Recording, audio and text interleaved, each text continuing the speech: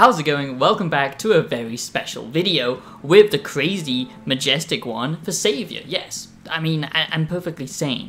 But when you've played the same game over and over again for what feels like 10 years, you might also question what is the definition of Ubisoft. definition of insanity is doing the exact same fucking thing over and over again, expecting shit to change.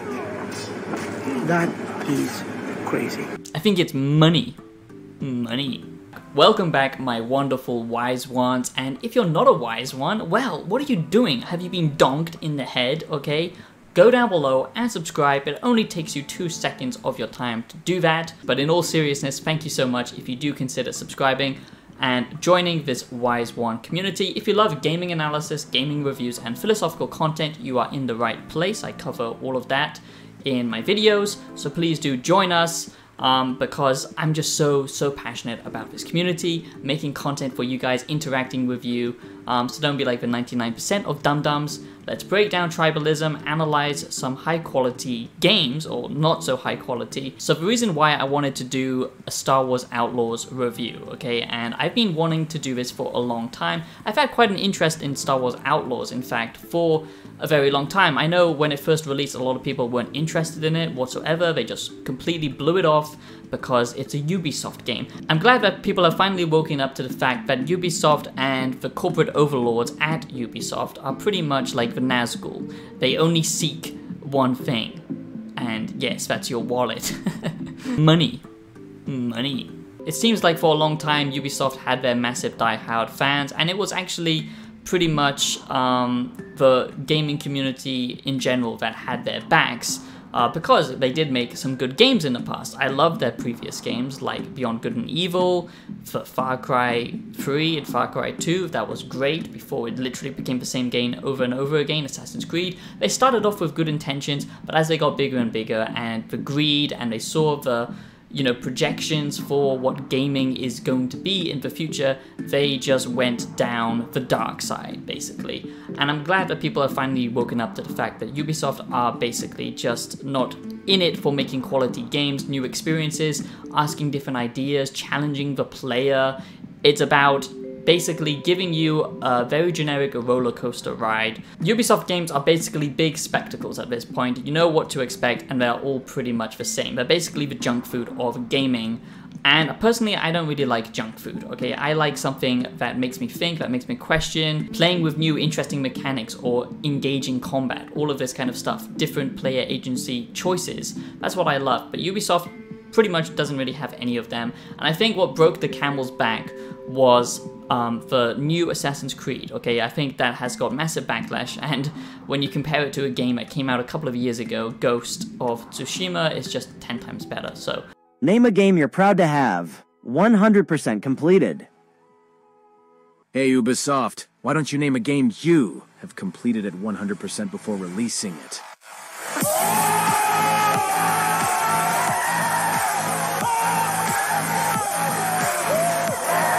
I just wanted to talk about that, give you an overview of Ubisoft as it is right now, because I think it's important to understand that going into Star Wars Outlaws, because on paper, this is not a terrible, terrible game.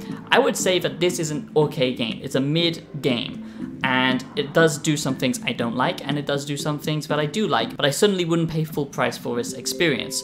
It's basically a watered down version of the Star Wars Jedi Survivor or Jedi Fallen Order that series, which I did which I think did Star Wars much much better because you can tell the people working on that game actually care much more about the source material and to some degree you can feel a bit of Star Wars love in this. Star Wars itself has basically just been completely milked for years now. Let me drink some of this milk. Oh, uh, yeah, I love milk. It's pretty difficult to find any joy in any new type of Star Wars IP, and the last time I felt that, like I said, was with Star Wars Jedi Survivor. Now, Ubisoft probably won't like me for making this video that much, and I'm doing this, you know, as a risk, basically, because people who are covering Star Wars Outlaws, other YouTubers, bigger channels, smaller channels, a lot of them have been basically greased. It's quite obvious that a lot of other YouTubers have basically been paid to promote Star Wars Outlaws, saying that yes, it's actually not a bad game, even though it's pretty much the same game we've played a thousand times before.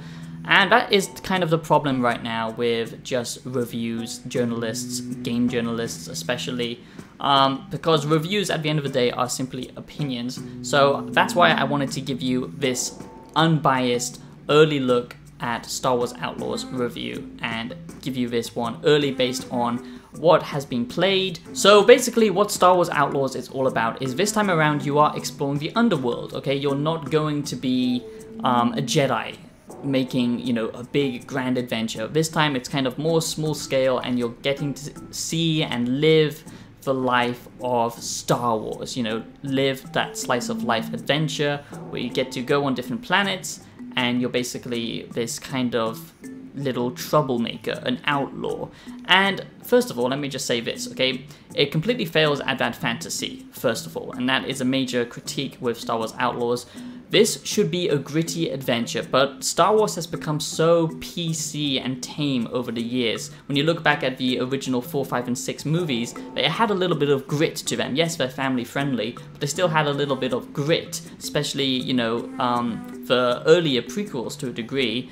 Um, this pretty much has none of that, okay? It doesn't really have any edge to it whatsoever, and as an outlaw, you can't really be a proper criminal. You can't hijack vehicles, you can't kill creatures out in the open world, and you can't hurt any NPCs outside of the bad guys, generic bad guys.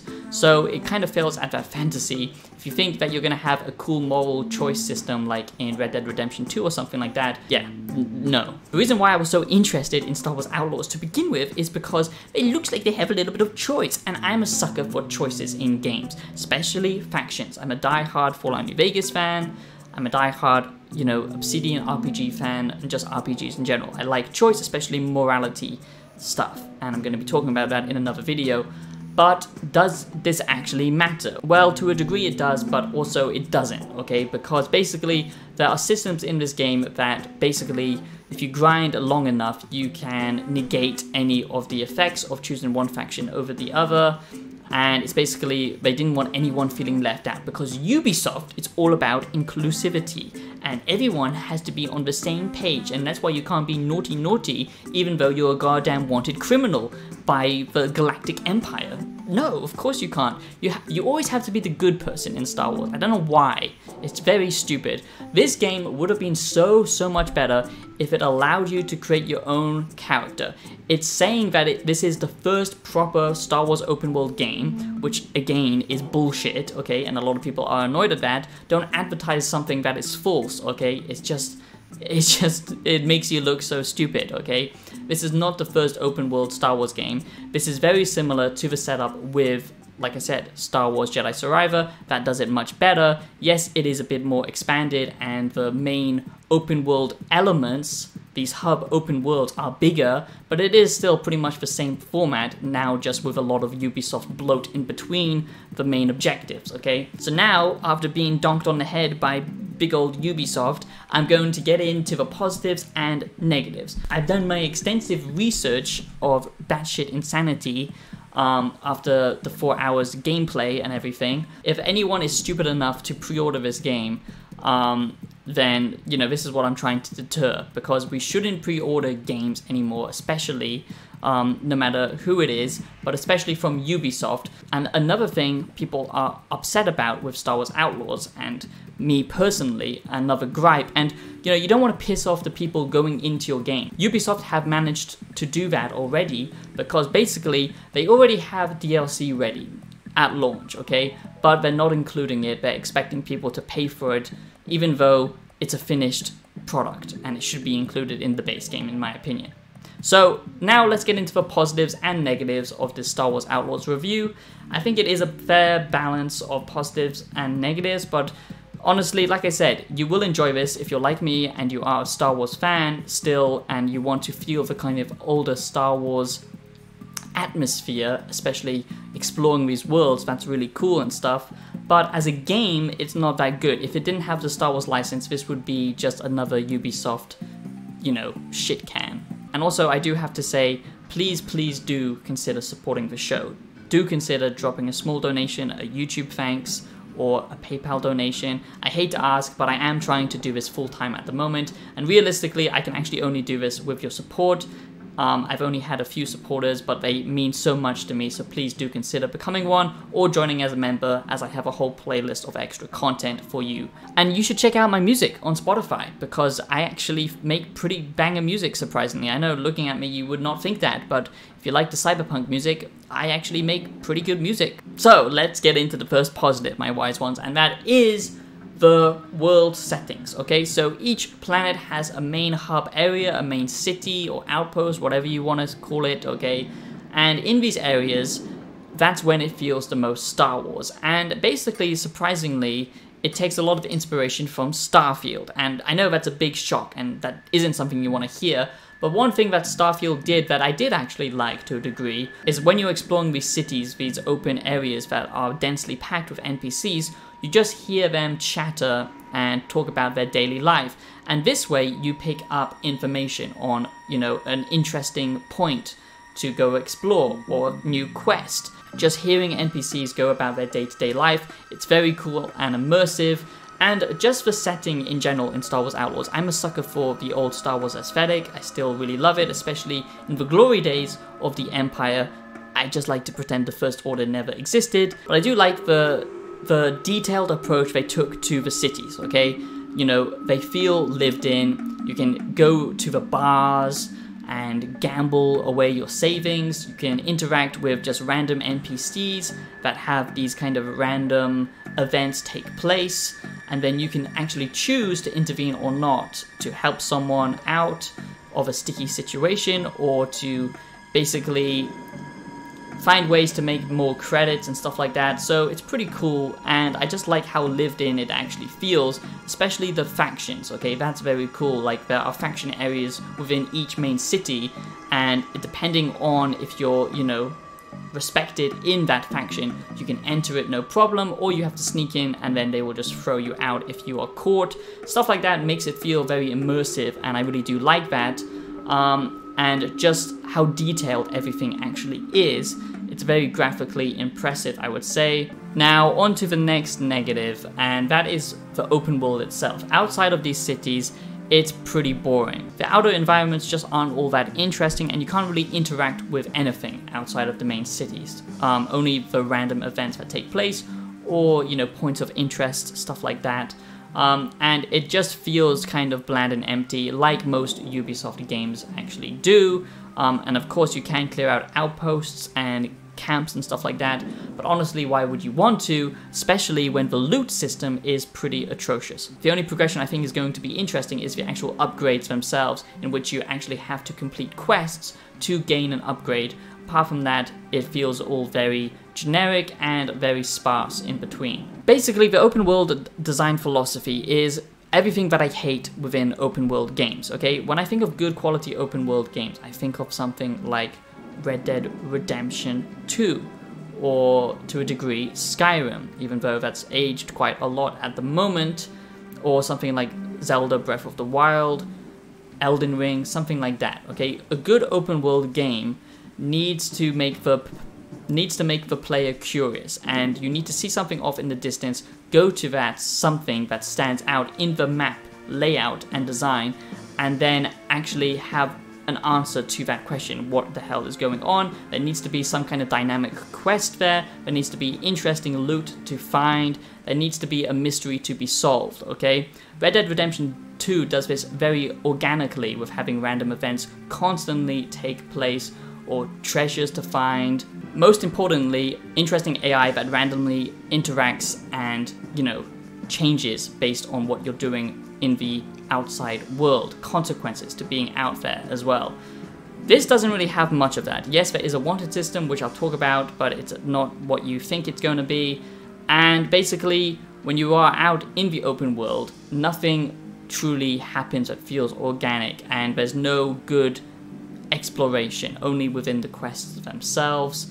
It's all very checklist, it's all very mobile game design. The next is a negative and a positive to a degree. It depends on the player, okay? That is the story and the characters. Now, I can't speak on this completely because obviously I haven't had enough time with the main character to know if, you know, she grows as a person or gets more interesting. But from what I've seen so far, she is a generic, wannabe, goody two shoes, bad person, which makes zero fucking sense, okay? Can we stop having squeaky clean characters in our you know, mature games, okay? I know this is not completely M-rated, I think, but still, can we have a little bit of grit, a little bit of character development or growth? I'm tired of these big open world games with generic storylines with nothing to say for themselves and they just play it safe. No moral questions, no interesting dilemmas within the character, seeing them progress and grow on the path of self actualization, nothing like that. She seems like a generic Star Wars copy and pasted Han Solo, but she has tits, pretty much. That's all that I've seen so far. Hopefully, she gets more interesting later on, but as far as I've seen, nothing stands out. And it's pretty stupid that you're a criminal, but you have to be squeaky clean at the same time and you have to have a little fluffy buddy always on your shoulder. It makes sense with a character like Cal Kestis, it doesn't make much sense when you're playing as a goddamn outlaw. That's why I said it would have been much better if they added better choices and implications like they're doing with the faction, but you create your own character. Um, the voice protagonist so far doesn't feel like it's worth the, you know, payoff. So the next positive is the random events, okay? So basically you can get distress calls and you can get this out in space as well, which is quite cool, but the outer space elements are basically arcadey shoot 'em ups, okay? No proper space travel, think of something like Starfield, so it's quite disappointing.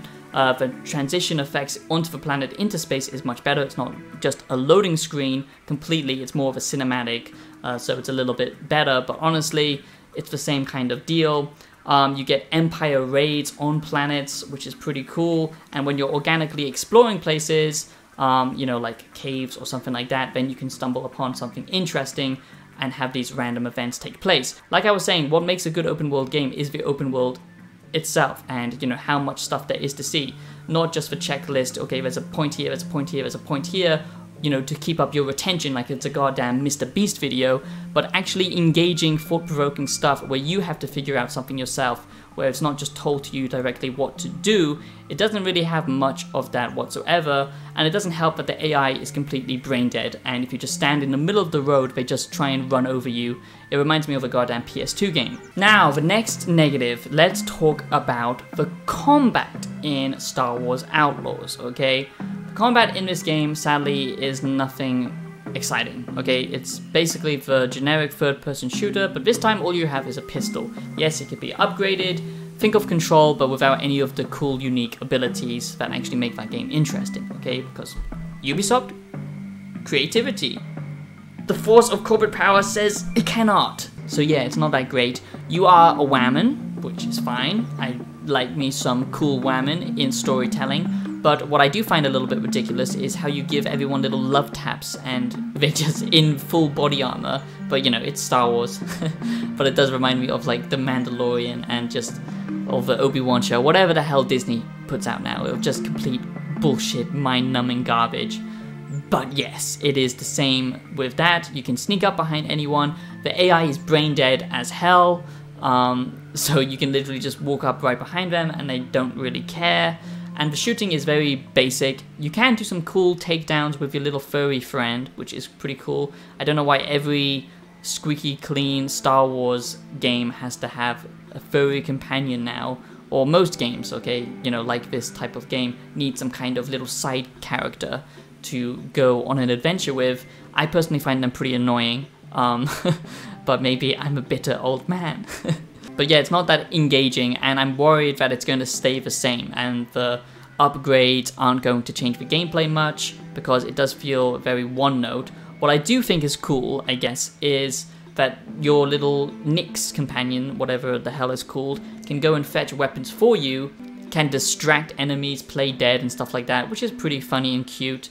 Um, and then you can pick up a more heavy weapon, and it always means you are playing on the defensive, which is cool, but it just is not the most engaging, honestly. So there are plenty of Ubisoft fillers like races to engage with, pirate raids, arrests that you can intervene with, and I do like the fact that this is a positive, that you can actually change some things depending on what faction you're aligned with. You can actually use your influence within that faction to sometimes change the you know course of what's going to happen with a certain NPC uh, depending if the Empire is kind of afraid of this faction or not. And you can bribe, use your credits and stuff like that. That makes it feel much more immersive. And when you're just exploring the world and just taking in the atmosphere, it can feel immersive. But you have to really ignore all of the bloat, like with any Ubisoft game, if you want to enjoy it.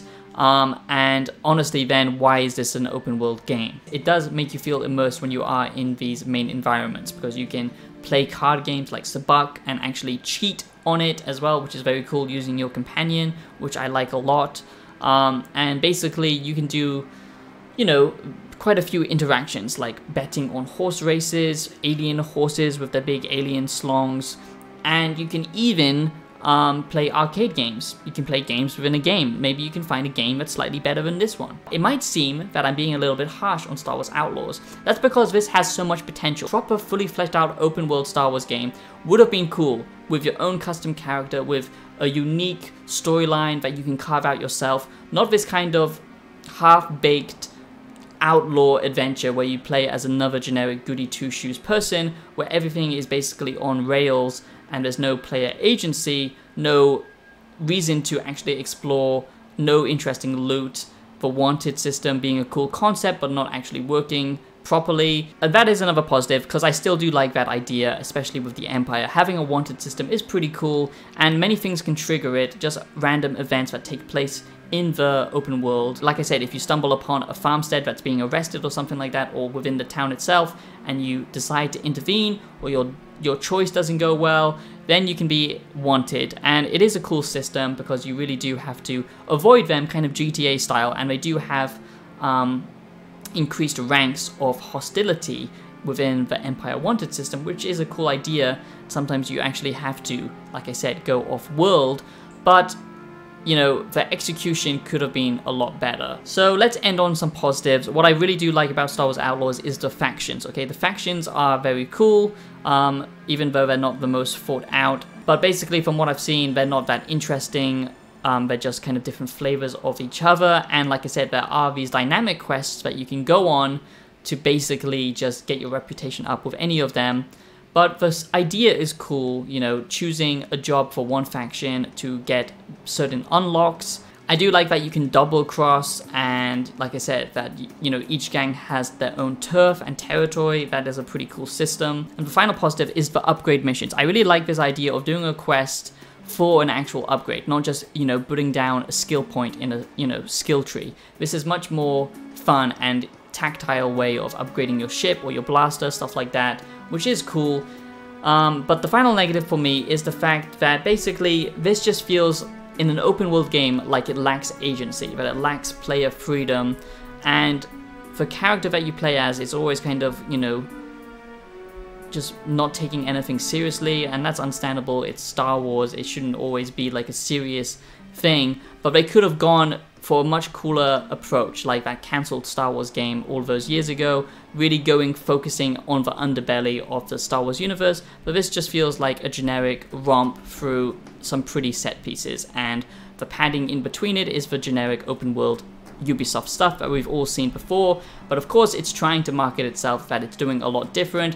But do bear in mind that these are the people behind the division, a multiplayer game, not a single player game and that's all I really have to say about Star Wars Outlaws. I do hope you enjoyed this Star Wars Outlaws review, and let me know what you think. Are you going to try this out or not?